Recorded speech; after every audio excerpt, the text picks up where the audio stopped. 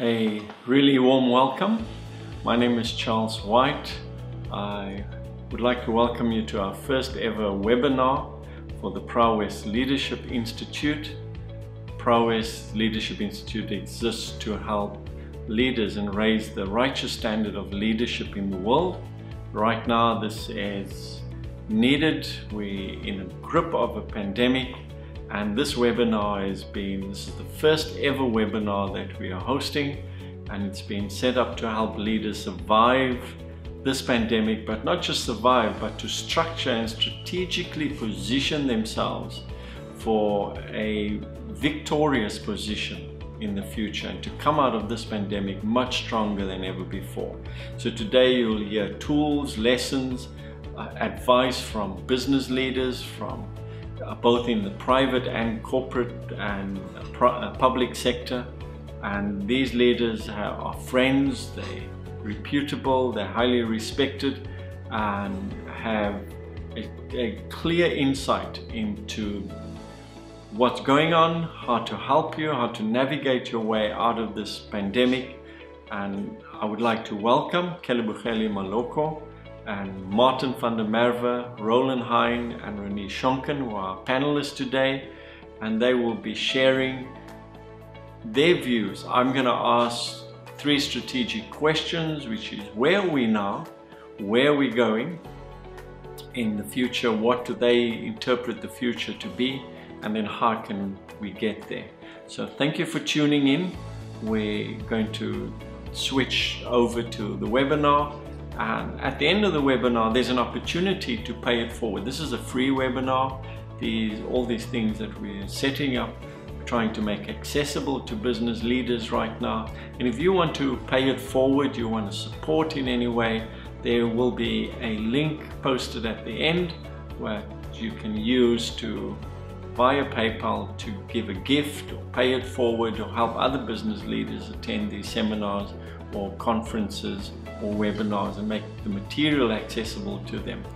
So it takes a lot of infrastructure, a lot of um, input and even staff behind the scenes put this all together and I kindly ask think about paying it forward and being a blessing. So let's cross over to the webinar today. Thank you for joining in, taking the time, the views and comments. Portrayed here are the views of the individual speakers, not necessarily Prowess Leadership Institute. So let's draw some truth from them, some encouragement and some hope. Thank you for joining me. I want to introduce, before we kick off, my partner and friend for 20 years. There are two people getting a huge crown in heaven. It's his wife and me. We stuck out with, with him for over 20 years and it's Renee Schonken. He is um, an amazing friend and challenges anything that can be challenged. Uh, has got a brilliant mind, a, a chartered accounting background. He, he lives figures and walks in faith. And so, Renee, a, a warm welcome. He, he's most creative when he stands up with a whiteboard and a pen. So I, I hope you'll bring that creativity out sitting down today. Welcome, Renee. Thank you, Charles, and uh, yeah, welcome to everyone who's joining us. Really, it's a wonderful um, privilege for us to serve you in this manner. And um, so, really, yeah, we just really trust that we can point you to Jesus, the Christ our Lord, today in all those things that you are having your questions and battling with, because that is the purpose of why we're together, to point to Jesus. He is our Joshua as he leads us through the promised land to possess it. So thank you, Charles. Fantastic. Well, I'm I'm going to kick off, and again, the whole purpose of this webinar, it's not so that I can learn new technology or our panelists can spend time um, just chatting. It's really to help leaders make sense of the time and help you prepare and take advantage of the opportunities to strategically position yourself to receive grace for the season and to function effectively from a different dimension. So I'm convinced that these panelists will be able to speak into that. I'm going to ask, uh, take a strategic approach, the strategic thinking model, and really just ask three views. Where are we now? Where do we see the future going? And then how we how can we position ourselves what are the opportunities out there what do we need to do as people from a kingdom that has been invisible for, for so long which is now i believe the time for this kingdom become to become visible in the earth how is that going to happen so my question to to the panelist is really can you make sense of the now? Where are we now? And maybe, Madhushaba, the markets, you're watching it literally every second. Just a reality uh, as to a, reality check. Where we now as a, as, a, as a market, a global market, a local market? What, what are your views? Thank you very much, Charles. I think that's a much uh, deeper question which goes beyond uh, what the markets are doing and what the economies are doing. I think all of these indicators and the changes that we're seeing in terms of uh, you know economic data or activity or financial markets and the lockdown there are symptoms of something greater that the lord is actually doing at this point in time and I just want to touch on on four four things briefly, and I'll, I'll I'll I'll end there. I think we need to understand what the agenda of the Father is in this time. Um, that He has promised us that He will shake everything until that which is not shaken remains.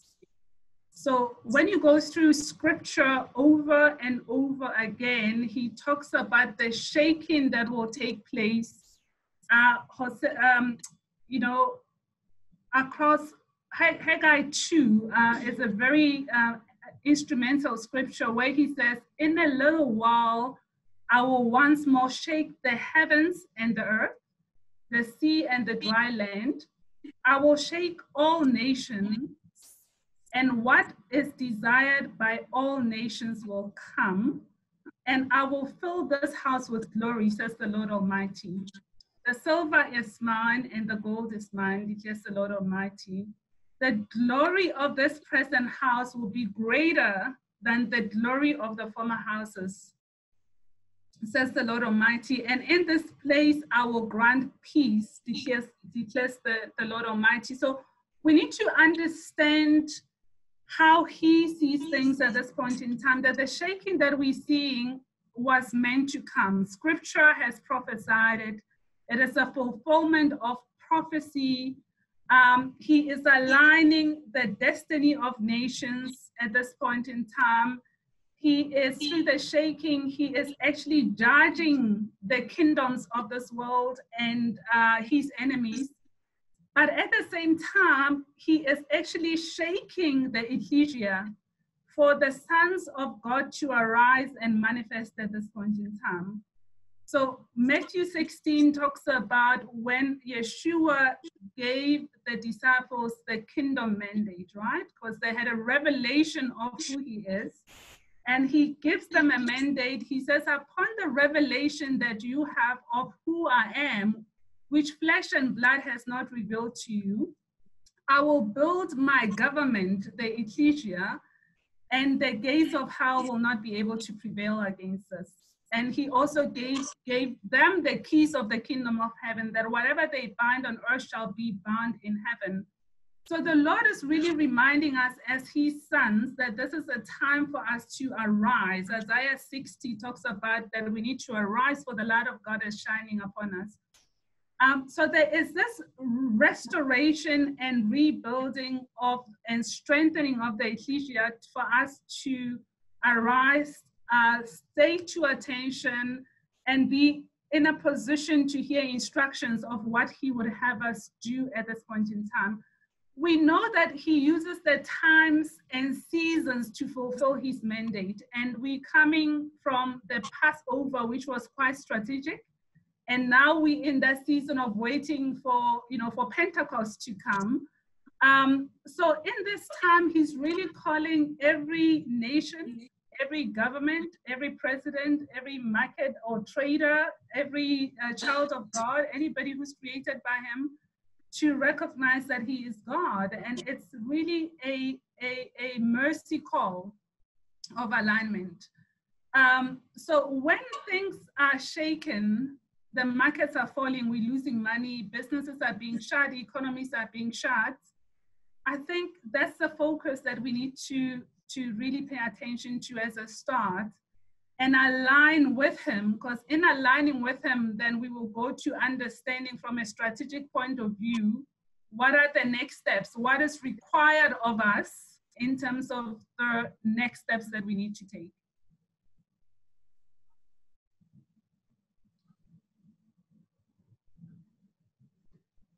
Uh, Charles, just unmute Charles, you are muted. Oh, good. Yeah. The, the word shaking makes me shake. and thank you, thank you, Madishava. Roland, you're where where we now? Yeah, yeah, uh, Charles. Uh, where we are now uh, in terms of, um, I would say, God's perspective. Uh, and Kelefelo is 100% right. There's definitely a shaking taking place. Uh, but it's also a foreshadowing of what God has in mind for the future. Um, so when we look at where we are now, uh, it's always good to then understand um, in terms of God's timeline, what is the end goal?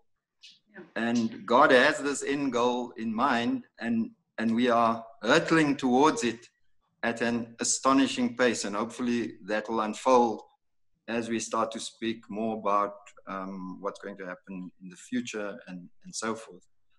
Uh, so if you, for instance, look at Isaiah 24, and especially from the, the message, which is a fantastic paraphrase and contemporary interpretation of that prophecy. And that specific prophecy is telling us in quite a lot of detail where we are now as a type or shadow of the final judgment which is to come in the last seven years or what is called the, the tribulation. So whether you believe there is going to be a tribulation or not uh, is irrelevant um, because God has a specific timeline. He's, he's got specific events in mind and specific appointments in time and where we are now um, is, and is a clear and very graphic indication that we are fast approaching the, the very final end um, or that end stage of final judgment uh, to come of the whole world, of all nations, uh, and Israel uh, in particular. So I think it's very important to understand what, what God's word is saying in terms of his prophetic timeline, how he sees the future, um, because prophecy is nothing else but history in advance. And when we want to know what's going to happen in the future, the best um, reference is God's word. So I'd encourage all, all participants to uh, read Isaiah 24 and um, especially from the message to see where we are now. Uh, just to give you a, a little flavor of of what is in there. It, it speaks, for instance, of two things that are pertinent where we are now. It says no one is unaffected. Now, in terms of COVID um, 19, not, not everybody might be infected, but everybody is certainly affected and will be affected. So, so not a single person will escape in terms of its effects and effects. And that is part of the shaking that, that we've heard earlier. So that's the first thing we take away is that, yes, this is definitely part of God's prophetic timeline, part of what he sees as the, as the final outcome. But God is not responsible for what is happening at this point in time. It is, it is merely a consequence and outplaying of the fallen state of, of the whole world. So when we look at Isaiah, we understand, yes, that is for a particular end time, but it does also speak of a warning in terms of what is happening around us so that we understand very clearly from an ecclesiastical point of view or the church's point of view uh, what is actually happening around us. Uh, so we, we take that warning very seriously, especially as, as the church. Uh, but we also see uh, that um, uh, God has a spe- specific response um, in, in terms of where uh, the, the church or the ecclesia will definitely play a critical role and a crucial role. And his promise is tremendous because he says, Those who love him dearly, he will shield and he, he will protect. And we will actually prosper uh, during this time of great distress and uncertainty. But we can speak about that uh, more uh, going forward. So, yes, where we are now is, is tremendously distressing, volatile, uncertain. Nobody who knows but I just want you to take heart, um, really start to look at uh, God's prophecy in terms of where we are going to end up in the future, because God's prophecy is not there to scare us, but it's there to prepare us. So when we understand prophecy a lot better, we have a much better understanding of what's happening around us at, at this point in time. So I think, Charlie, with that, I, I just want to sum up where we are now is that yes, it's distressful, it's it's really bad. Nobody uh, escapes it, but uh, the, there is definitely a silver lining in all of this. Wow. Thank you. Shaking and silver lining. Uh, Martin, you, I, I've, I've gone through your books I've tried to look up in your dictionary COVID 19. It's not there. Did you forget about it? uh, thank you, Charles, uh, uh, for reminding me. I will do my best to put it in for you.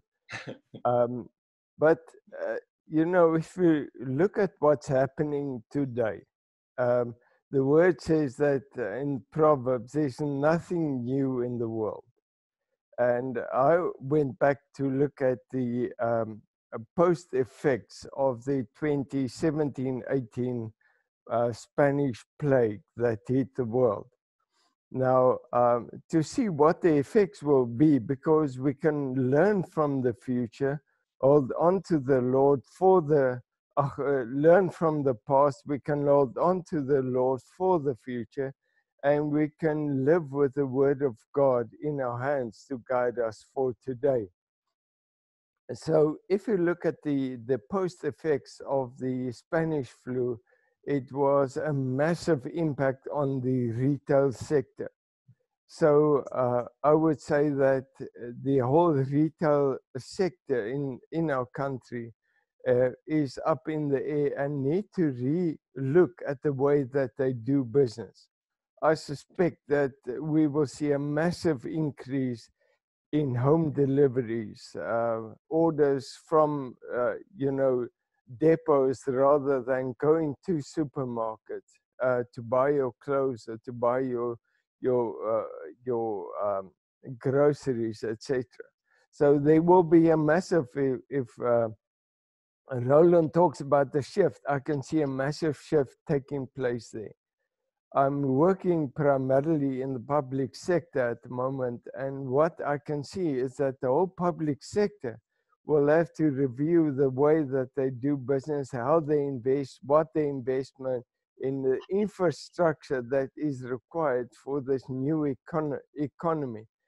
It is not a matter of just uh, a reconfiguring of the current economy or talking about the fourth industrial gener- uh, revolution this is a different uh, or a revolution of a different kind that we have to realign ourselves to a new future. And if you look at the book of Revelation 3, verse 10, it says that because you have guarded and kept my word of patience, endurance, and have held fast the lesson of my patience, with the expectant endurance that I give you, I also will keep you safe from the hour of trial, of testing, which is coming on the whole world to try those who dwell upon the earth. And uh, I think that we are in a time of trial and time of testing as it is right now. And it will depend on who our, what, what our character is, who we trust in, who we believe in right now to guide us towards the way ahead. I believe mm. that God is good and Satan is evil. And whatever evil we see is definitely not from God. So, what we're experiencing in this trial is an attack from Satan. And we know in James 4, verse 7, it says, Submit yourself unto the Lord, resist the devil, and he will flee. It is now the time that we as Christians need to uh, step back or step forward or get up and uh, stand against the attacks that are coming against us because I don't believe it's God attacking us. I believe it's Satan attacking us, and that we need to take up our godly authority and stand up and say, Here we are, children of God. We're moving forward in the covering and the promises of the great I am. Thanks, Martha. Wow, that that was exceptional. That you just got strength back. I could see your color change and the strength come back while you're talking. See, I God almost, does heal you. Yeah, I almost jumped up and did a dance for you. Then I wouldn't be able to walk for the rest of the day. Thank you. Thank you so much. It I like the words, it's a revolution of a different kind. And it's a it's a shift. It's a, a mega shift, like you say. So thank you. We for those who have tuned in, we we're unpacking the current state, where we're at, both in the economy and as a people, as a church, as a called out and ecclesia we're asking where where's the now? We're using a strategic approach. Now where are we heading? And then um, at the end we're going to get the juicy bits is how are we going to get there? What do we need to do now? How do we need to position ourselves for taking advantage of the opportunities the victory that's already been won? How do we appropriate that victory and manifest it in our lives so that's at the end I, Renier, and now you, you've been meeting with the governor you, of the Reserve Bank, you've been um, tuning in and meeting with all those big finance houses. Um, where are we now?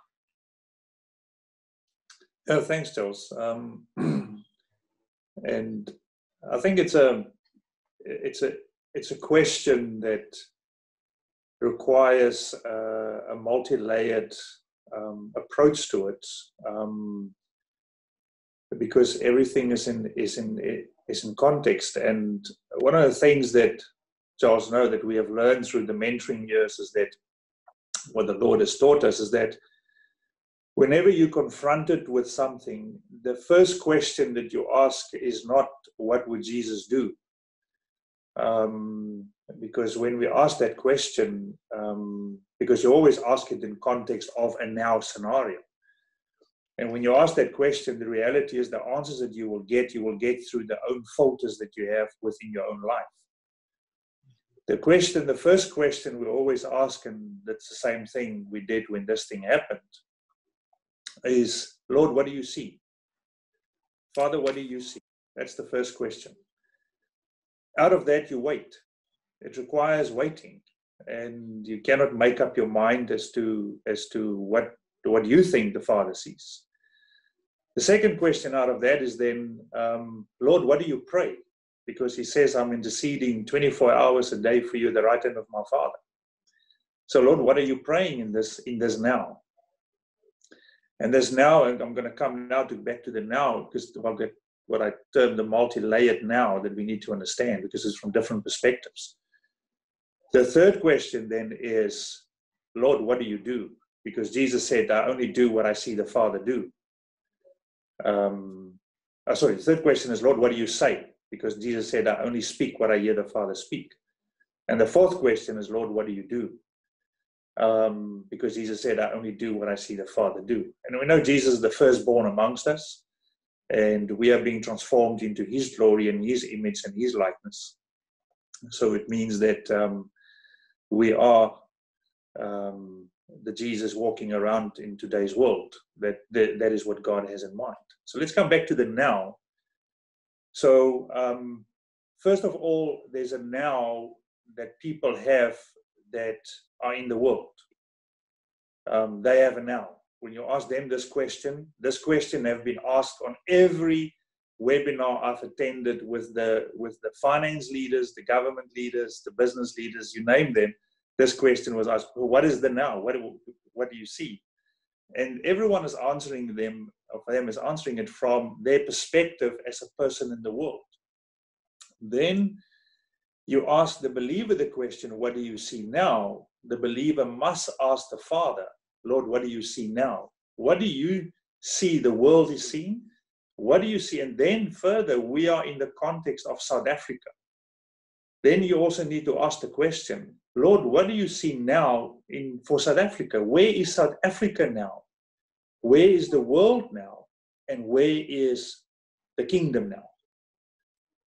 So those are the three nows that um, the Lord is talking to me about and that we need to understand to understand the context of where they're at. The world leaders have a very specific now that they're busy with.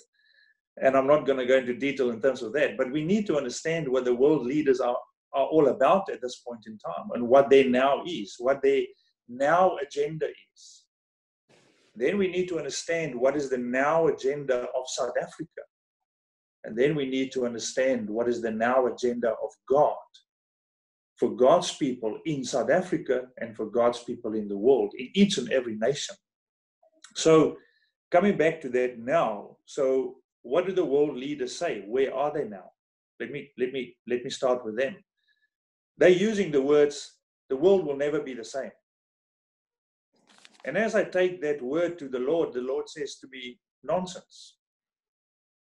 Go back to the 19, Martin just referred to the 1918 um, Spanish flu, and I went back to the 1918 Spanish flu.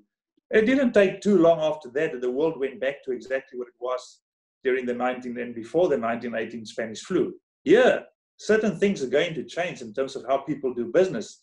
Like, for example, what we're doing now, we're not having a physical conference, we're having a virtual conference. Absolutely, those things are going to change. But the Lord said from Isaiah 26, He spoke and He said that whenever there's judgment in the earth, it is to teach the people of the earth righteousness. And then He said to me, and this one, the people will not learn righteousness. And you can go and read in Isaiah 26. So the reality from a righteous point of view, because this is where we are at, is from a from a from a kingdom people, is about righteousness and leadership, righteousness in business practices, righteousness in government, righteousness in that. They're not going to learn righteousness. So that now where the world is, they're still not righteousness. So the world is continuing with that agenda in terms of where they're at. So coming back to so what they are what, what, what they are just saying, the world markets are changing, export markets are changing completely.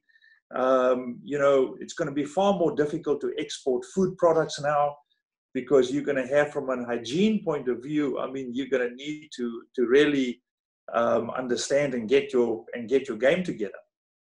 At the same time, there are tremendous opportunities in terms of that. Um, then we come back to South Africa. The now for South Africa, we know what God has spoken over South Africa and Africa. And this is the now that we need to understand for South Africa and Africa. And um, and Charles, at, at one point in time, that, that decree that the Lord spoke in June, July 2000 through um, his servant Gunnar Olson over Africa, the Lord just got me to get it out again and say, "This is the time. This is this is I am. This is what I, what I'm doing. This is the now that I'm doing. I'm breaking forces. I'm breaking evil in this in this in this nation and in this continent. And um, and we understand that that South Africa is at a place where it is to arise. South Africa, Africa is at a place where it must arise and come to its fruitfulness and that the Lord has destined it for in context of the world. So South Africa, where's South Africa now? When I listen to the leadership of South Africa, our finance minister Mboweni opened the 2019 budget speech with very specific scriptures, which many of you know. I've sent it on to you, and um, and he comes before it, and and and he brings the budget really of our nation in 2019 and 2020. And the Lord took me back to that and said, "Bring that budget before me." Because he brought it before me. I want you, as my children, that's responsible in the area of finances for this nation, to bring this budget before me so that I can, what was spoken in that budget, that it can happen. Because he, he said at the start of that budget speech in 2000, he said, this budget is about a renewal. And we are in a renewal phase for this country, for this nation. So, um, yes, what I am concerned about is the words of our president when he speaks. And he says, We will overcome because those are humanist words. Those are words speaking from we as men, as people, we will overcome.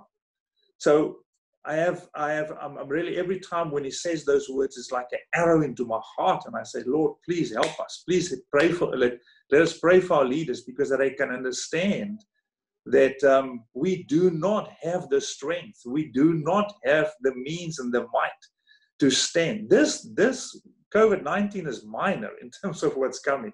It is minor. So, um, in the context of what I understand. Um, and the Lord always send, I mean, there's always something small that comes and He says, you know, I just want you to learn, you know, come, turn, turn, turn from your ways and, and actually come back. So, but that's just something for where our nation is at. So, where's our leadership in our nation? So we see our judge, um, our chief justice. I mean, I mean, a man of God. So from from that perspective, where's our leadership at? Calling upon God, knowing that it is Jesus and the blood of Jesus and the strength of Jesus as the Christ as of the universe that happened for us. So where does it bring to us as a body of Christ? Understanding the signs of the time, the times and the seasons that we're in and where we're at. The reality is that 2020, this decade, is the decade for God's people it's the decade for God's people. God is, I mean, many of the people participating in this today will know the many words that the Lord has spoken. And in January 2019, um, I was at a funeral. And, um, and at this funeral, um, I said, I came a little bit late and I sat down and it was five minutes and the, the minister who was taking the funeral stopped in the middle of nowhere and he said, let me just read the scripture. And he read from Isaiah 34, verse 8. And it says, For the Lord has a day of vengeance, a year of recompense for the cause of Zion. And the Lord spoke to me and he said to me, This is my word for my children for the decade to come. That's in January 2019. He announced a year of recompense where God is now saying to and and and and I mean I can't go into detail now, but the the the advancement that we will see as the kingdom of God in this season is something incredible.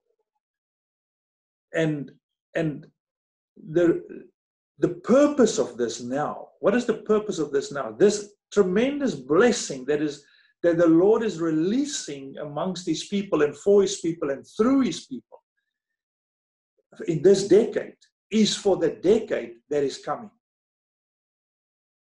But we must understand something. We are at risk as believers to dwell on the past and to dwell on the future and to miss what God is doing in the now. So we must clearly understand that we have to wait before the Lord to have a clear revelation of that the Christ be revealed in us for this now season that we are in. And that's for each and every one that's participating this, this morning. You have to be before the Lord for yourself. You must come to here before the Lord.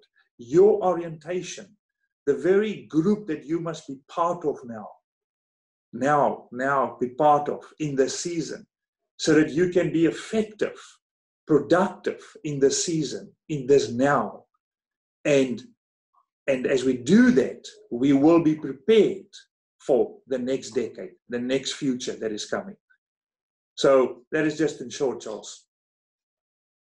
Wow. Thank you, Renee. So if you've tuned in, you've missed some of it. We're talking about where are we currently as a country, as a, as a globe, global community, where are we? And the, the summary, if I would just take the key words from the speakers this morning for the last half an hour, it was Madi Shabbos said it's a, it's a time of tremendous shaking. Roland said we, we're really in an end stage. Um, Martin said it's a shift. I like the words a revolution of a different kind.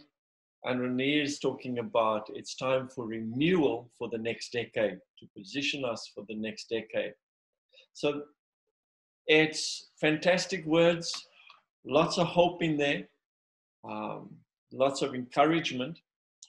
The, the question now is this is where we're at. There's so much change happening. I want to take us into the future. What does the where look like?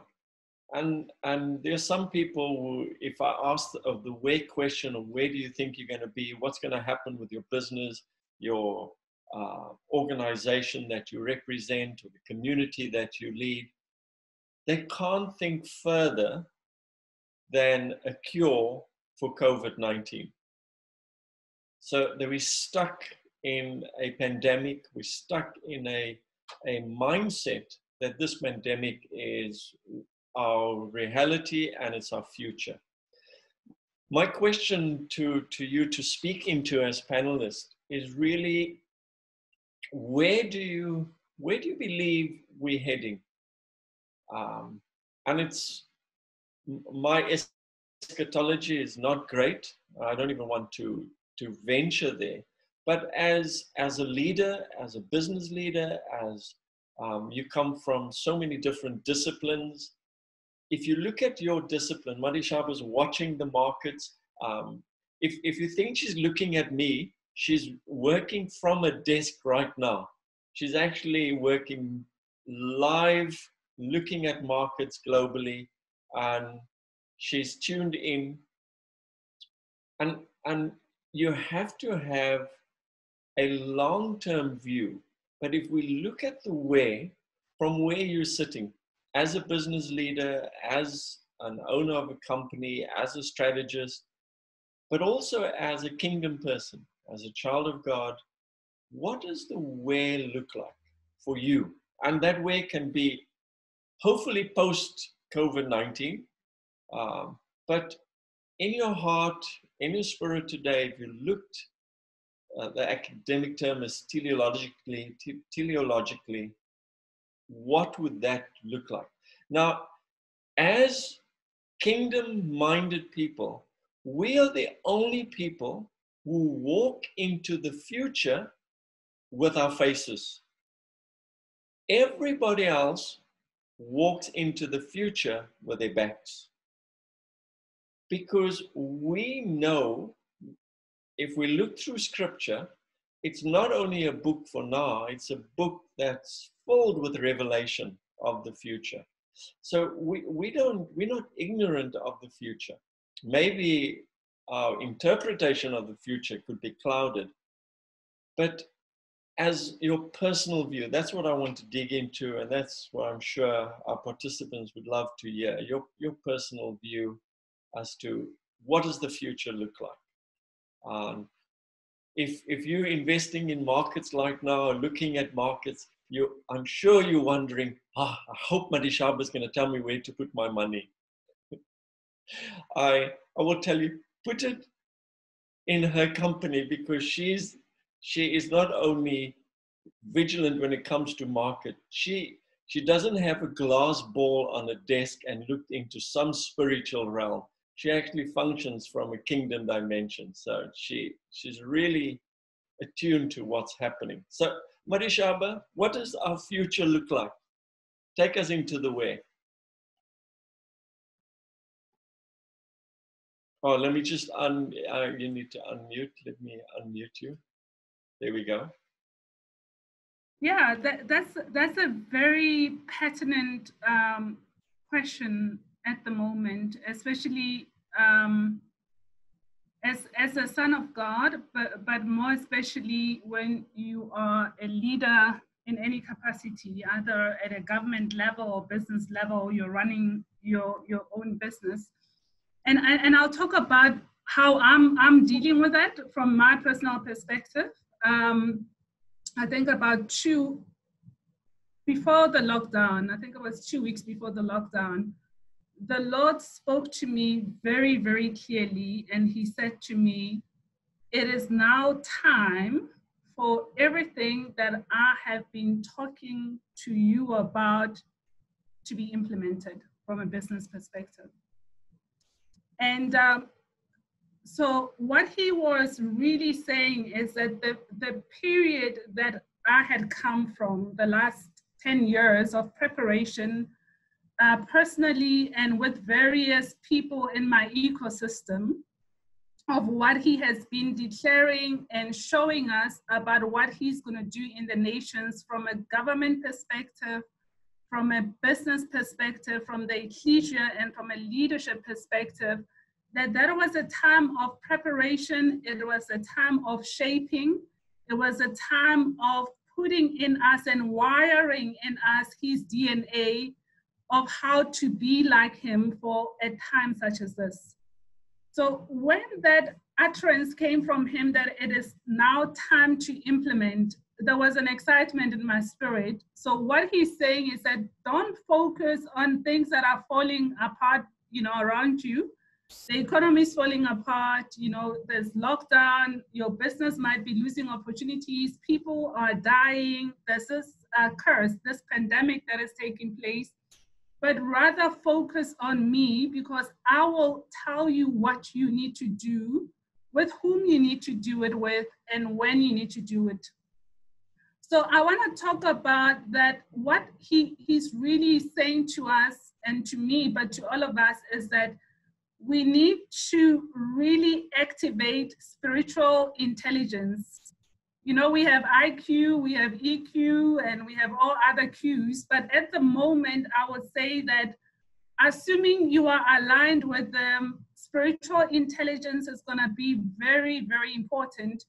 And I say that in the context of even what Renee touched on is that when you look at um, what happened in previous uh, crashes, economic crashes, um, we can use that as a guideline or what's happened with uh, previous pandemics. We can use that as a guideline and we can try and assess to say, okay, fine, how long is it gonna take uh, for economies to actually recover? How long is it gonna take for financial markets to recover, right? Uh, we know that um, the World Bank uh, published a report just now in, in April where they looked at the shock of the pandemic to the global economy. I mean, you have um, GDP of Italy projected at minus 9%, okay? For South Africa, it's minus 6%, right? The number that came out recently. But when you look across the board, it's like there's really a huge drawdown on how economies are expected to perform um, at this point in time. The only two economies that are still are expected to register positive growth is India and China, but everybody else is in negative uh, territory.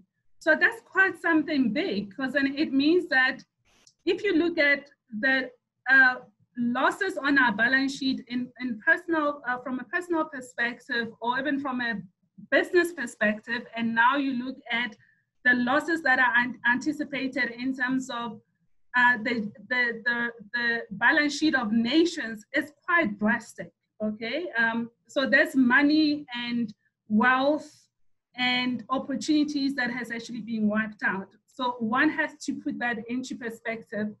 The second thing that you need to look at is that there are responses from various camps in terms of trying to, to first stabilize, but to prop up economies as well. Um, you know, across the board from the US uh, to, to Europe and even to South Africa, there's just been a lot of uh, strong fiscal response um, uh, to the economic lockdown. I think the highest is Japan that has actually uh, really pumped in about 20% of the stimulus into the economy.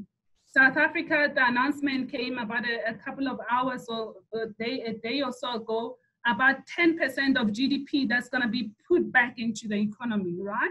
The US, we know that it's about 10% of the GDP that's going to be put back into the economy. So that is exciting, it is comforting. But when you look at most of these responses, the leaders and um, the, the, the participants, we are not certain that they will work in terms of really getting us out of this slump that we, we're experiencing at the moment. Okay, so it's very important. So we've got 2008 to use as a, as a benchmark to say, okay, fine. It, during the 2008 crisis, we saw that there was a lot of policy stimulus through monetary policy. There was also quantitative easing. There was a lot of money that was printed by different central banks and so forth.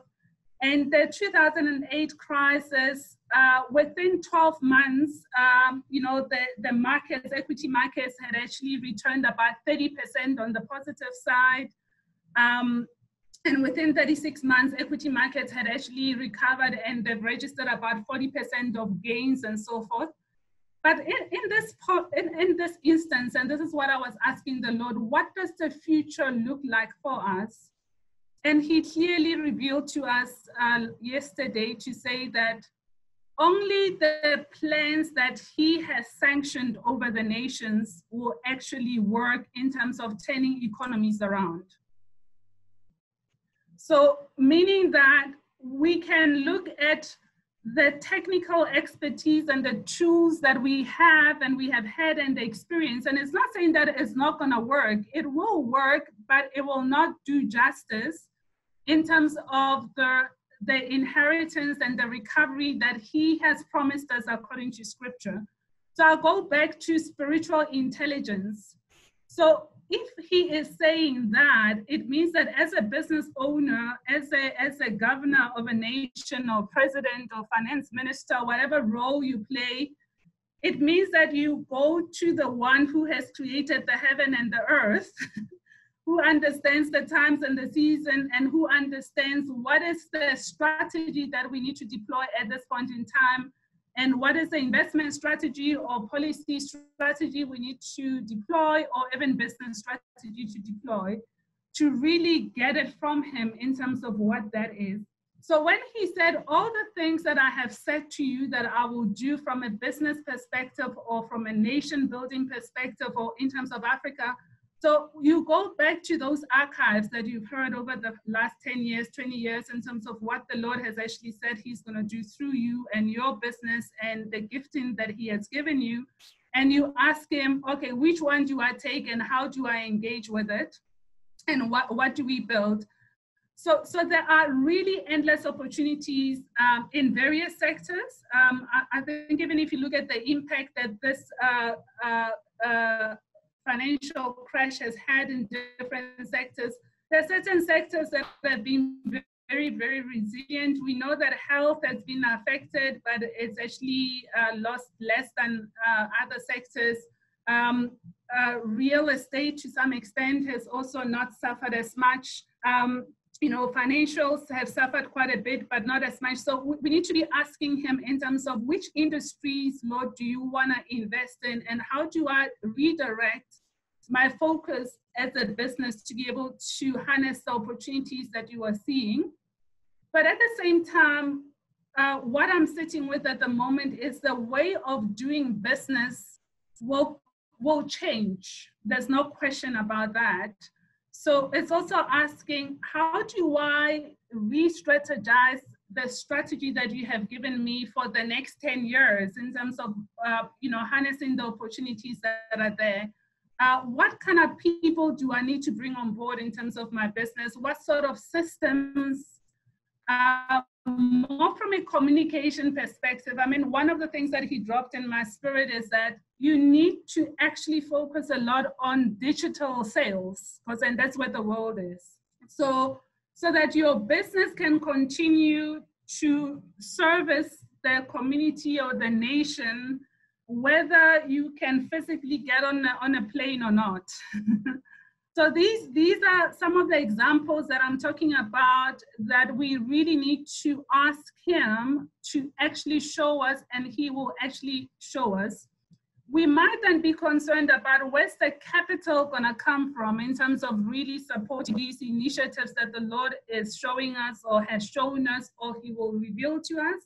And um, he has clearly said there is a lot of money available and he will release those resources. I know we traditionally look to the banking sector, we look to investment houses like ourselves to be able to support initiatives. Um, and we can take South Africa as an example where South Africa doesn't have um, money, right? At the moment, the South African government.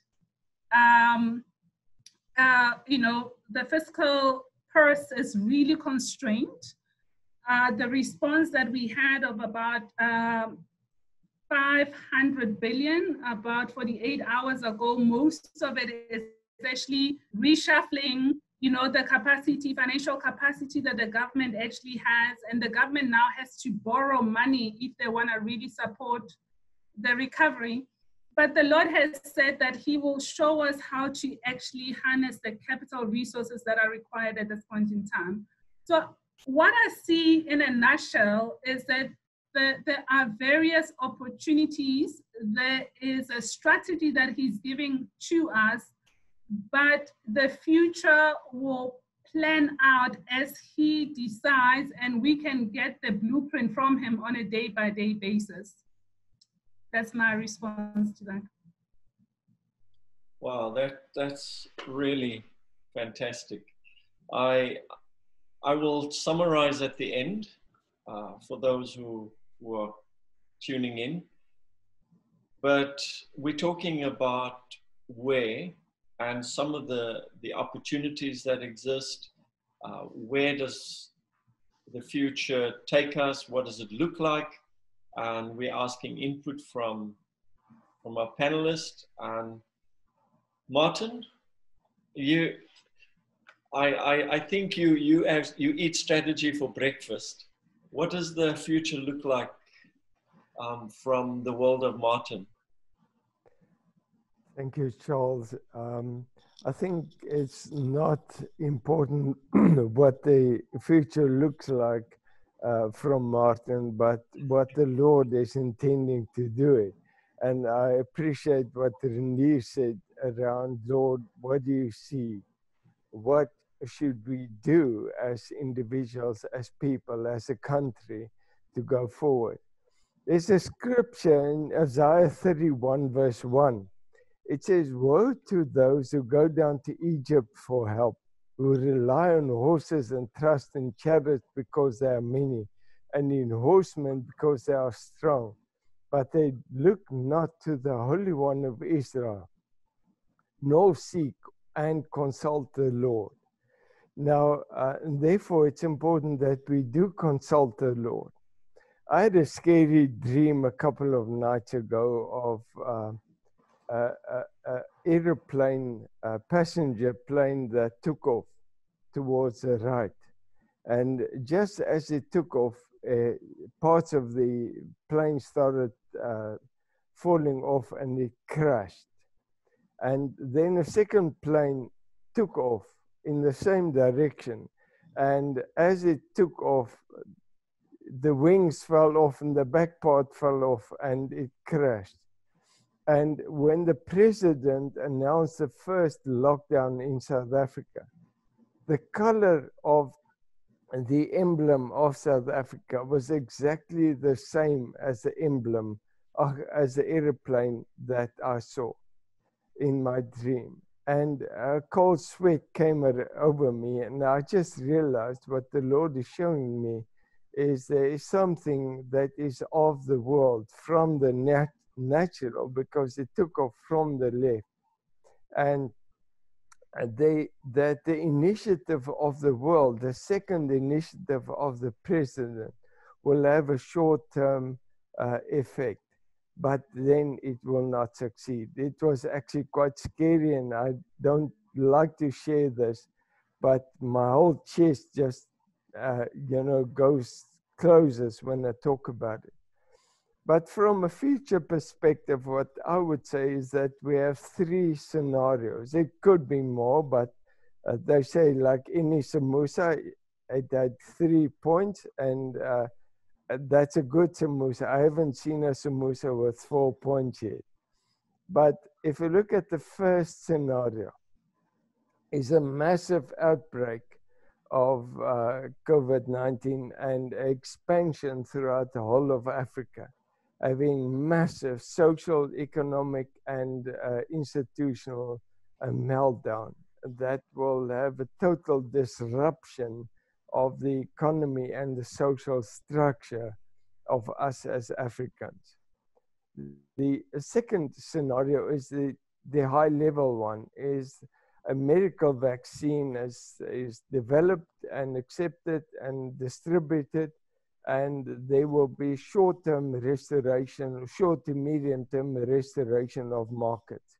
Now, I think that is what the uh, market analysts are hoping mostly for, is that we have a short-term situation where the vaccine that Israel has uh, allegedly already developed and is being testing, uh, that that will be distributed, and by June this year, the markets will all be back on, business will be back as usual, and that we can continue uh, uh, you know, as we were, for a matter of fact. Um, that to me is a bit of a Egypt situation. It is a resolution in the world. The third one is a no vaccine with extended lockdown, where governments will uh, protect their, their uh, nations like our president is doing now with a five level uh, lockdown strategy where you will see certain components of the economy uh, starting to function, but the world will not be the same. It will be in a semi lockdown for continued time to come uh, until we've reached more or less a 60% uh, uh, uh, influence where, where most people are uh, build up antibodies and we can then start functioning again. but that, I'm sorry, will be a long term restoration of the markets. My suggestion is that we, uh, if we look to the future, we need to just take one step back and rest in the Lord and listen to what He is doing. And uh, a friend of mine sent me a, a, WhatsApp yesterday. He said, What do you have in your hand? It's like the Lord saying to Moses, What do you have in your hand? Take what is in your hand. Look at opportunities within what you have. Grow from that. Uh, explore the opportunities in the markets. And I think that in that, in Him, we will find our rest. Sir, I'm a bit shorter than Mrs. job. uh, I was trying to out, I was trying to outdo Renee earlier. Look here, um, I just need to remind you this is a free webinar. You don't get paid for minutes. So I, I know you can bill your clients per minute. we, we have 30, 27 minutes left. So we want to get into the how, and some of you are, are dropping nuggets of how we're going to get through this and what we need to do. So we're going to summarize that in the end, and this document will be available to people to will go out there and say, if you're going to survive, you're going to be victorious in this current season. this is what you need to do. And it's shaped on where we are at now, where we're going to be, and these are the key things that you need to be obedient to in this season. So we still we've got a few minutes to stay with the where Roland and Renier. So if we could just take another just a few minutes to hear about what's your interpretation of the way, and then we will summarize and close off with what do you believe people need to be doing right now?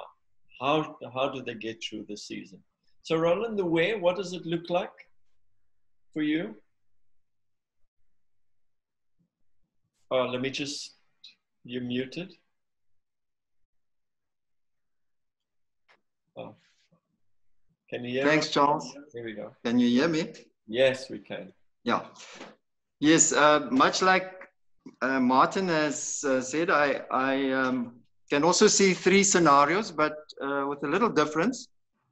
Uh, the first one is that um, uh, God works a fantastic miracle, and um, this plague is stayed. There's a tremendous economic and social miraculous recovery in our country, all over the world. And everybody applauds that, and, and it's fantastic. There's lots of people turning to the Lord and calling on his name to be saved. The second one, uh, the second scenario is that there's a slow and very difficult and also very volatile uh, re recovery, which takes a couple of years. Uh, I, I don't know. Nobody really knows, but uh, let's say, as Martin has, has pointed out, it's very painful, very difficult, very volatile. So there's a easing up, there's a closing down, there's a getting better, there's a getting worse, uh, and so forth. But but really not not functioning well. And then the third one, surprise, surprise, there's the rapture. So the church is evacuated, and the church escapes the terrible wrath that is to come, and that is the final judgment. So again, I I really want to emphasize that we need to understand God's prophetic timeline because it does help us to understand things aren't falling apart. They are coming together in terms of God's timeline and his prophecy. Uh, the major thing we need to understand, as many of, of the panelists have pointed out, is how do we understand what it means for us, our role and our purpose. And I think I want to just summarize it in terms of um, God's word to Jeremiah in Jeremiah 1 uh, that each one of us has a holy assignment. He's called us to those holy assignments. And Renier specifically pointed out, out and Kelfilo also, that this time now is very important that we know and understand what each respective person's holy assignment is and, and just getting on with the job with God's power, empowering us and anointing us to do that really well.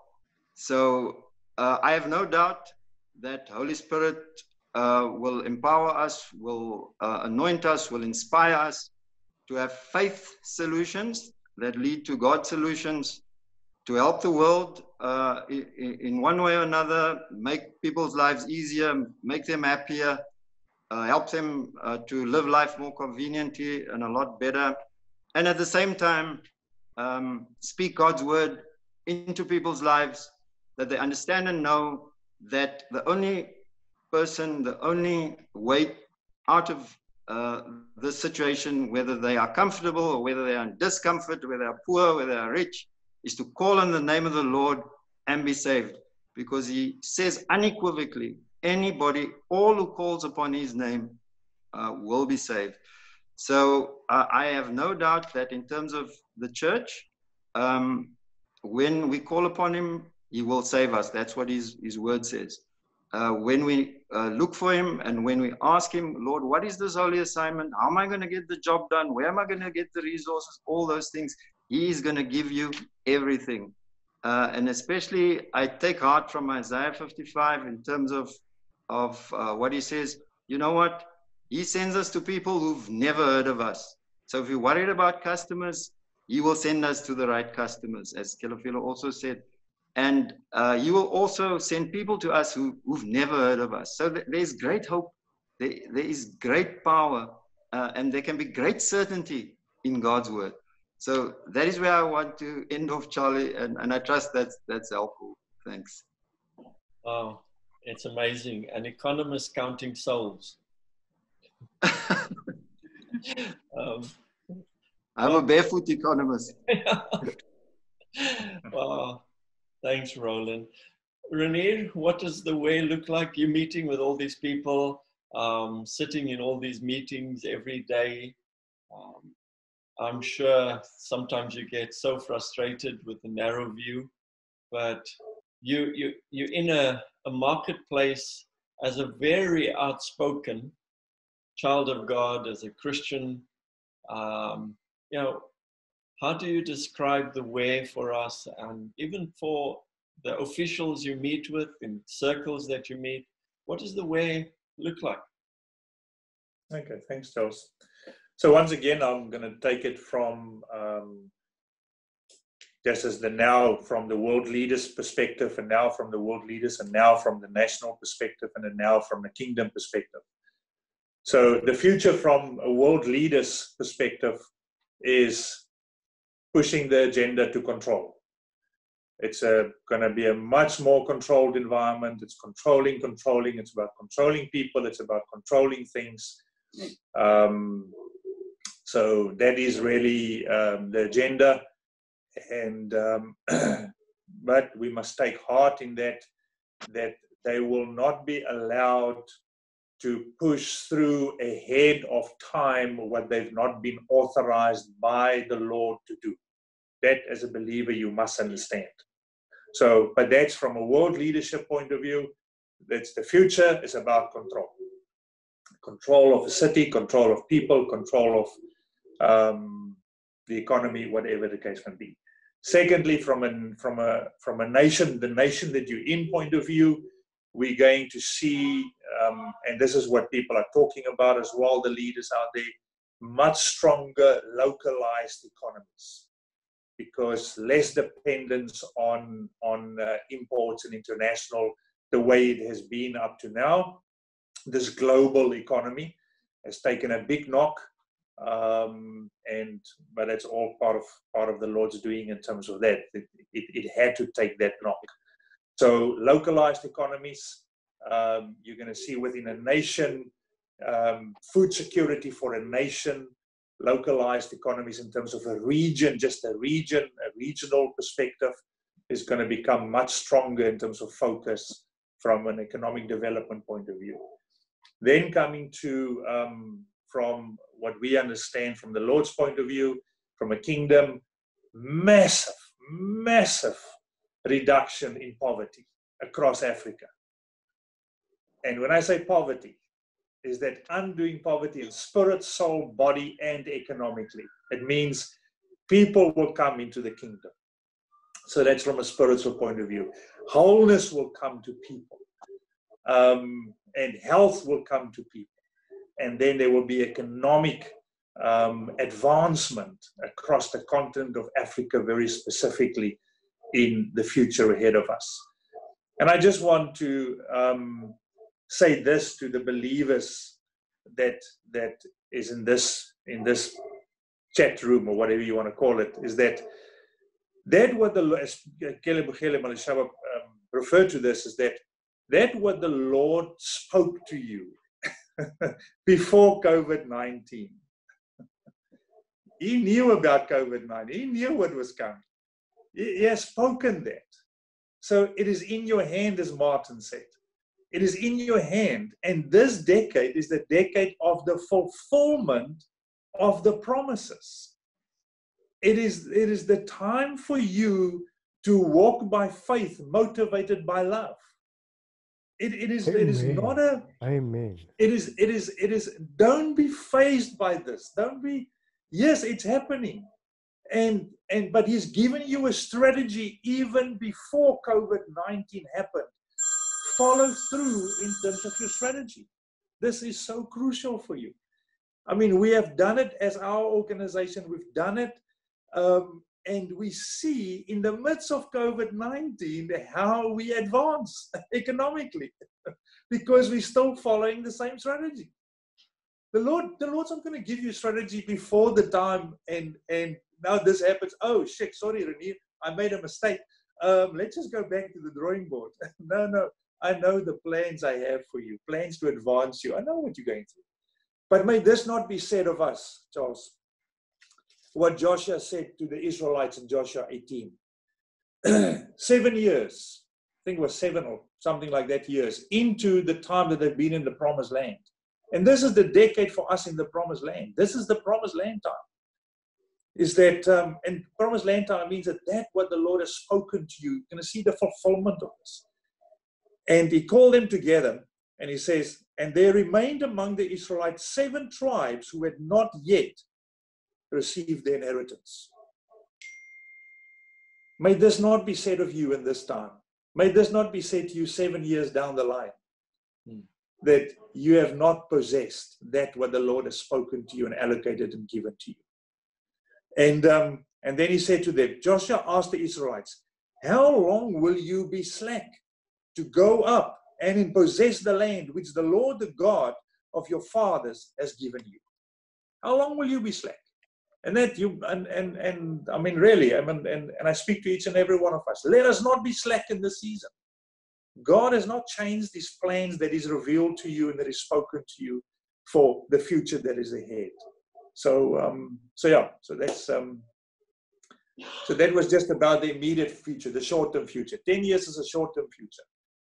Uh, beyond that, um, so I just know a serious time is coming. And that's why we need to embrace this future that is now ahead of us in the now, in the everyday now with the Lord. Thanks, Charles. Wow, thanks, thanks, Renee. That was very powerful. It sounds like we, we're looking at a 10 year bridge. We're coming to the end, we've got 15 minutes. So I'm going to ask you just to sum up really, if, if you were sitting and Madishaba, you had a client sitting in front of you and say, Madishaba, tell me, what do I need to do now to get to this?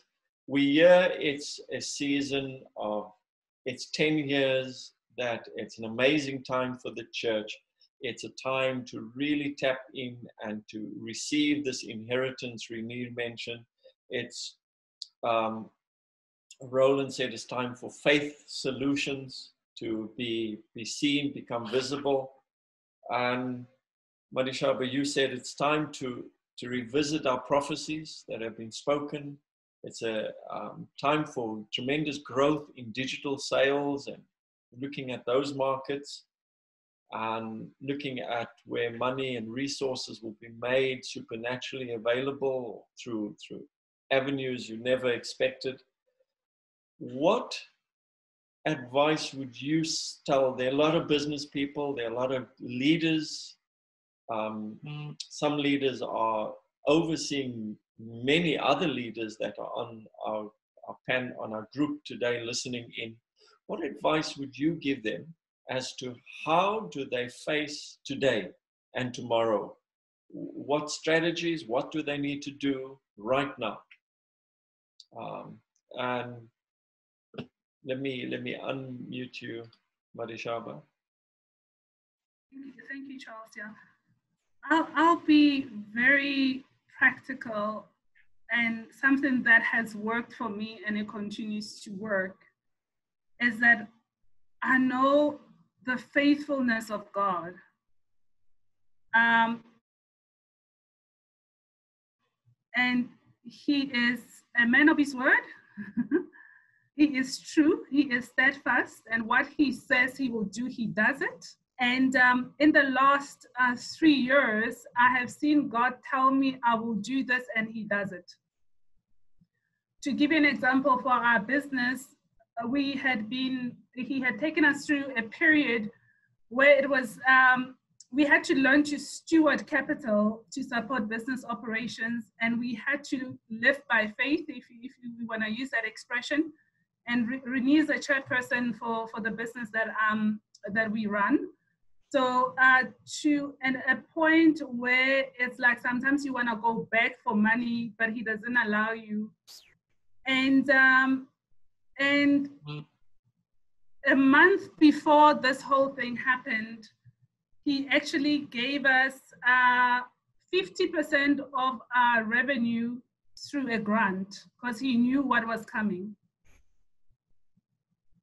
And he has said, I will provide for you, I will protect you. Because if you remember the story of Passover, it's like there was supernatural protection for those that had the blood on their doorposts. there was supernatural provision for where they were going in terms of the assignment that they're going into. Um, and there was revelation of strategy when the children of Israel were in the desert now. There was Moses, but the Lord also called them to engage with him, and they denied him that opportunity. But at every point, there was revelation the Lord was giving in terms of where to go, what to do, how to do things, uh, you know, governance structures were given to them, how to relate as communities and so forth, which, which gets me to, I'm gonna summarize with this, is that the Lord is faithful that when he says, when you seek him and you wait on him and you listen to him, he will show you exactly what to do every every every second of the day on a daily basis. That's how I'm running the business. That's how I'm living. And um, as he reveals that to you, you act on it. I saw another question, somebody saying, what if you never had the strategies or the prophecies the Lord had given you before? and you find yourself now and uh, you don't know what to do, then ask him. Don't do anything. Hear from him, ask him to reveal to you. If you don't get anything, the next thing that I want to say it's a time of getting back into the ecosystems that the Lord had connected us with uh, or that He's preparing for us for this point in time. Because some of the things we can't do alone. So, really go back to your tribe or or find a new tribe where you can actually reason together, strategize together, implement together, share together. Where does that take us? We've got a model of that, right? When the church was born in the book of Acts. Um, so he's calling us back to that community, and that's how I want to end my session today. Thank you. Wow, powerful. Thank you. So we we have a few minutes. So what I hear you say, it's steward your capital wisely, live by faith. God will provide supernatural protection, provision, and revelation for your next step. Ask from Him, and He will give. Get back to your ecosystem. Find that ecosystem, get back to it, get back to your tribe, the community that the Lord has called you back. Go back into community, into connecting with the way I say it, connect with grace. And thank you. Wow. Um, a lot of people are asking for this recording already or for the notes. So, tremendous value.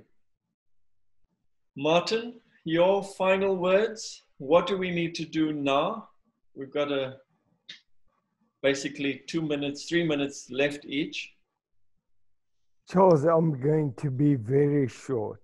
Um, I think is we. No, I don't have a samosa, but I've got a full pin pin. uh, the first one is assess where you are. Find out what is going on around you. Assess your realities. Uh, assess your finances. Assess the products, the the, the clients, the circumstances, uh, approach the Lord and ask Him, Why am I here? What is going on? How does it affect me? Uh, engage with others because in the counsel of many there is wisdom. That's the first point is to find out where are you? And in that, not to fear. Uh, for me, I think the biggest a burden that we carry is fear, and fear is is uh, is a ghost, and let us not fear. The second point is just to go back to the Lord. You probably have more time now, and be quiet and say, "What is my purpose and my calling?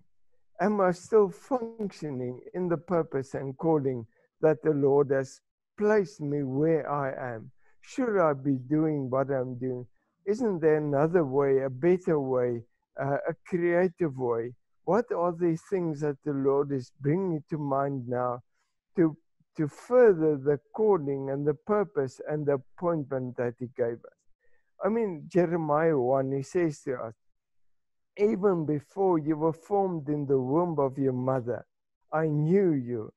I approved of you. I consecrated you and I appointed you to be a prophet to the nations. And I think that if we can take up our position and our calling and move forward, that is powerful.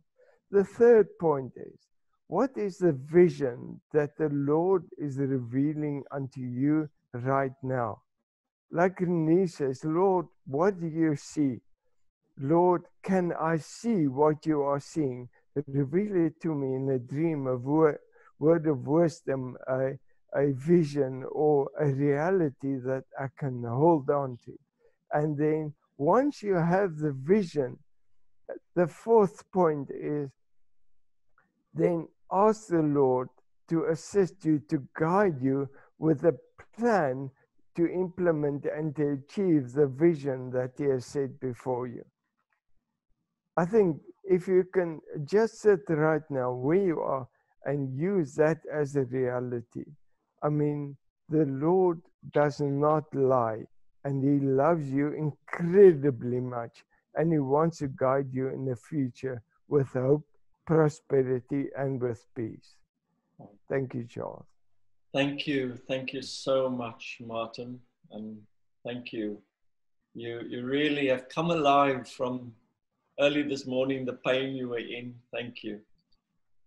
I, I will summarize everything in the last closing comments. But Roland, um, you, you, I, I've been with you. I've seen the insights you have given and the advice and the strategies you have helped other business leaders with, and even the the bold steps you've taken in your own business, what, what would you tell a business person who's tuning in? In one minute that you have, what would you tell them right now? Do this. Yeah. I think Charles, Charles, it starts with a, a total change in mind.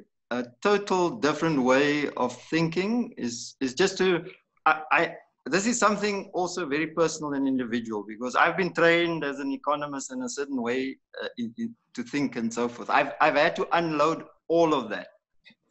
Uh, I don't know if I've been rid of all of that, but uh, at least I'm getting there. Uh, so I think the first thing is, is just a total change in the way one thinks. We can't think normally or conventionally, but we've got to think according to God's kingdom according to how, how his economy works. So as we've heard now from the other panelists, it, it really starts with that. So it starts having complete and absolute faith in God. And faith comes from hearing his word. Um, so, and knowing his word and confessing his word. So meditate on God's word, hear from God. And I've uh, personally and, and uh, all those, uh, my family with us in this family business that we have, the, the word that is pertinent to us uh, includes some of the, the following Deuteronomy 8 18. He gives us the power to be successful. So our power doesn't come from anywhere else, as, as Martin's indicated, not from uh, Egypt or anywhere, but He gives us the power. So have absolute faith in that. And every day, if we can say that uh, to, to ourselves and to our, our spirit, and our mind until there's a total change and a trust that God is indeed the one who gives us the power. And then Ephesians 1 17 to 19, uh, he gives us the spirit of wisdom and re- revelation to come up with faith solutions, great solutions, God solutions to meet people's uh, needs. And then 2 Samuel 5, verse 12, where, where David hears from the Lord and he understands that, that he is king to help Israel. Uh, the, the, the position of king is there to help Israel, to be a servant, to be a helper, uh, to, to make, make things uh, a, lot, a lot better. So you see how powerful God's word is. And then I want to end with just something very practical. Uh, so when we start to apply God's word that is pertinent to us and relevant to us, He equips us, He empowers us for our holy assignment and and I mean it, it's absolutely flabbergasting, as we've heard from Kilofila, how, how God miraculously brings um, provision. And, and that's the last few scriptures I want to, want to give you. First Kings uh, chapter 17, verse 16, Second Kings chapter 3, verse 4, Luke 5, verses 1 to 4, where, where there's all these miracles related to business about the fish, about the oil, about um, uh, uh, how, how, God miraculously increased um, what, whatever has been provided. Uh, so this is how powerful God's word is for us in the kingdom. Now, now that to me is amazing, and that to me is, is, is so fantastic because we have God's word. And if we have God's word, that is sufficient. Wow. Amen. Thank you, Roland. Unload your thinking, meditate on the word, and revisit the miracles in scripture that you just quoted us. Thank you. Amazing stuff. Renier, you, you always get the final words. Good, yeah. Um, thanks, Charles. Yes, I, I am pretty much, I mean, what's on my heart, um, everyone has uh, said already. And I think I just want to um, share this um, analogy that I received, and that was prior to COVID 19, as the Lord took me on a on a separation for seven days and, and, and fast and prayer. And two things in this time, you need to understand that you need to walk in two realms at the same time. You need to walk as a priest before the Lord and the people, and you need to walk as a king before Him in this land. Mm. As a priest, you intercede for people. You, you bring people before the Lord. And he says so beautiful in Isaiah 45, he says, Come and talk to me about my children and leave my work to me. Secondly, as a king, as a king, you then decree. You decree the very things that the Lord speaks to you. On that, the last day of those seven days, he revealed this to me. He said to me, For now, six and whatever days you have been before me as a priest, and now I'm going to give you what you need to decree. But you cannot decree as a priest, you decree now as a king. The Lord gave me decrees over 13 businesses that we work with, clients of ours. And since that time up to now, He has performed, if I can use that word, He has, he has, he has done those, He has spoken those words directly to those business people, whether they're born again or not. He had given me the time to speak those words to them, and from that we have seen a response in the spiritual realm, a reaction in the spiritual realm, and a response by the earth and by the markets to the word of the Lord for those clients, very specifically. So, um, so it is so it is extremely important that you that you understand this walk before the Lord. It's a very practical thing because sometimes we confuse the two. Um, this is no time for confusion in terms of how you walk as a priest and a king before the Lord and in the earth before the people. Whatever God does is for his glory and for the profit of man. We must always understand that. Whatever he does is for his glory and for the profit of man. Secondly, the picture he gave me on the last day, he said to me, Renier, he showed me a stage. Um, and we were on the stage. God's people were on the stage. It's like a play. And before me, I saw the audience, but I saw that the audience was sitting in darkness. Like typically when you go to a, to, to a play, the audience, the lights are off over the audience and the lights are on, on, the, on the stage. And then I saw a stage behind me, but the curtain on the stage behind me was closed, and the curtain on the stage that we were standing on was drawn, it was open.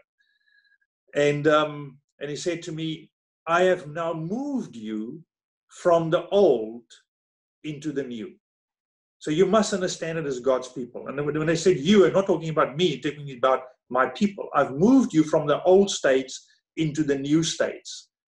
And this was at the, at the changeover of the new year. Um, and he said to me, The old is, is, is gone, it's past. Don't look back to the old. The curtain is close on the old. You're now in the new states. And then as I looked, I saw the stage was completely furnished with everything that was required for this play to happen. For this act, and then uh, there's the word that I received is the act You know, you, a play's got various acts, they call it. And they said to me, the acts are about to happen. And then I looked at the audience and I said, Lord, so a play is always has got a purpose for an audience. It is written for a purpose what needs to happen. And then he showed me this audience and he said, they're in darkness.